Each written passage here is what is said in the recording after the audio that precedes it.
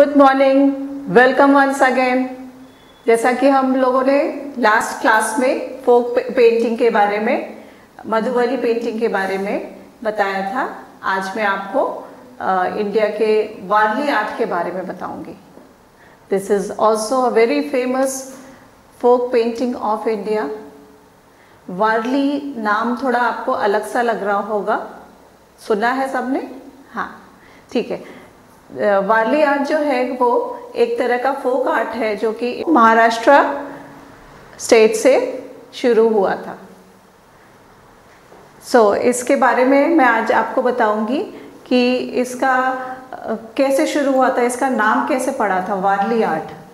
वारली महाराष्ट्र में थाने डिस्ट्रिक्ट के में कुछ ट्राइब्स रहते थे जो कि वारली ट्राइब्स के नाम से जाने जाते हैं।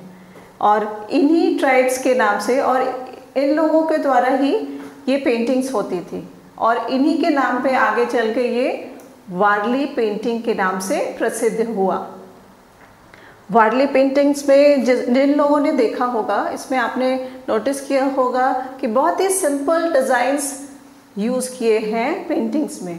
डिज़ाइंस में फिगर्स होती हैं मैन वुमेन चिल्ड्रन एनिमल्स और प्लांट डिज़ाइन माउंटेन हिल आपने देखा होगा। सो so, इसमें जो फिगर्स होते थे बहुत ही सिंपल फिगर्स यूज़ करते थे। जैसे कि ट्रायंगुलर फिगर्स बॉडी को ट्रायंगल शेप में यूज़ करते थे और हैंड उनके जो होते थे वो बिल्कुल स्टिफ एक लाइन की तरह होते थे। सीधी लाइन में ऐसे I show you the image जैसे सिंपल अगर फेस बनाना है तो इन्होंने एक सर्कल ले लिया। और नेक के लिए एक सीधी लाइन लगा दी। फिर नाउ नेक्स्ट इज़ बॉडी एक ट्रायंगल बनाया। और एक और ट्रायंगल बना दिया, उसको इससे अटैच कर दिया। See this is the upper part of the body and this is the lower part and पैर अगर बनाना है तो एक सीधी लाइन ऐसे। पैर बना दिया। ना hand is missing make a straight line ठीक है? इस तरह के फिगर्स यूज़ करते थे। इसमें आप देखेंगे सर्कल दिखाया तो वो फेस के लिए दिखा दिया। सर्कल भी इंस्पायर नेचर से इनके जितने भी मोटिव्स होते थे वो नेचर से इंस्पायर्ड होते थे। नेचर जैसे आप, उन्होंने देखा कि सन या मून सर्कुलर होता है तो उन्होंने फेस के लिए सर्कुलर मोटिव्स यूज़ किया। एंड बॉडी के लिए, जैसे नेचर में उन्होंने देखा कि माउंटेन्स हैं, कुछ कॉनिकल लीव्स होते हैं तो तिकोने होते हैं। तो बॉडी के लिए उन्होंने ट्रायंगुलर इमेजेस लिए एंड एक सीधी लाइन बना दी हाथ और पैर को दिखाने के लिए। ठीक है? समझ में आ गया?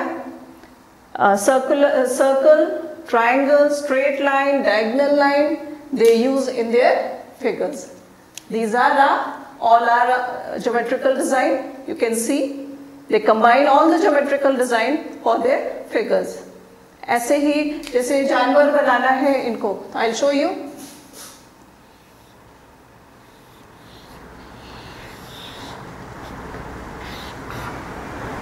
इस तरह से बर्ड्स एंड एनिमल्स को वो लोग शो करते थे। ठीक है? ऐसे ऐसे लाइंस बना देते थे। बहुत ही सिंप्लीफाइड मोटिव्स होते थे इनके। ठीक है? और नाउ इनके थीम क्या थे? थीम भी इन्होंने अपने सोशल लाइफ से लिया। Social life and the god and goddesses जिसका वो वर्शिप करते थे। सोशल लाइफ में, daily, day to day life में वो क्या करते थे? जैसे हंटिंग कर रहे हैं, शिकार कर रहे हैं, खाना बना रहे हैं डांस कर रहे हैं, इसी को वो अपने पेंटिंग्स में शो करते थे। अपनी खुशियों को शो करने के लिए, अपने सैडनेस को शो करने के लिए वो पेंटिंग्स का सहारा लेते थे। पेंटिंग्स को वो पहले एक दीवार पे ज़्यादातर उन्होंने दीवार पर ही वाली पेंटिंग्स बनाई हैं। सो so, इनके थीम्स क्या थे? जैसे कोई गॉड गॉडेसेस कोई रिलीजियस फेस्टिवल हो गया फेस्टिवल्स को वो भी शो करते थे। और या फिर कोई शादी विवाह को शो करना है कोई भी आ, खेल है कोई भी एक्टिविटी सोशल लाइफ की थी वो उनका थीम था। कैसे बनाते थे सब किसी को पता है? नहीं मैं बताती हूँ। इनके कलर्स जो भी थे बहुत ही अर्दी कलर्स थे। ज़्यादातर आप देखेंगे कि हल्का गेरुआ कलर हल्का ला, लाल रंग इनका बैकग्राउंड होता था। बैकग्राउंड कैसे बनाते थे?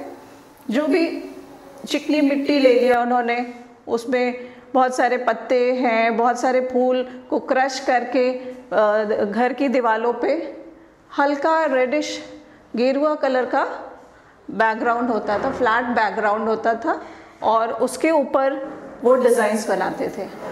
डिज़ाइंस कैसे बनाते थे?